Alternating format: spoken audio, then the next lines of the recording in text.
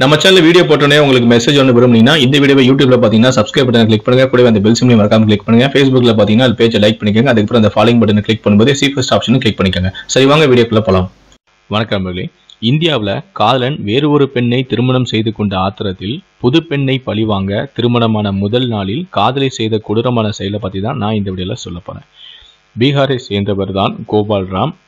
இவரை செல்லமாக பௌக்கலை என்றும் கூறுவார்கள். இவரும் இளம்பெண் ஒருவரும் காதலித்து வந்தனர். ஆனால் ராமுக்கு வேறு ஒரு பெண்ணுடன் திடீரென திருமணம் நடந்தது. இந்த விஷயத்தை கேள்விப்பட்ட காதலி ஆத்திரமடைந்து பழிவாங்கும் நோக்கில் ராம் வீட்டிற்கு இரவு சென்றுள்ளார். அப்போது அனைவரும் அசதியால் அயர்ந்து தூங்கிக் கொண்டிருந்தனர். அந்த சமயத்தில் தூங்கிக் கொண்டிருந்த புதுப்பெண்ணின் தலைமுடியை ராமின் காதலி கத்தியால் வெட்டியும் உள்ளார். பின்னரும் ஆத்திரம் தீராமல் தன்னிடம் இருந்த ஃபெவிக்யூவை அவர் கண்களிலும் முற்றியுள்ளார்.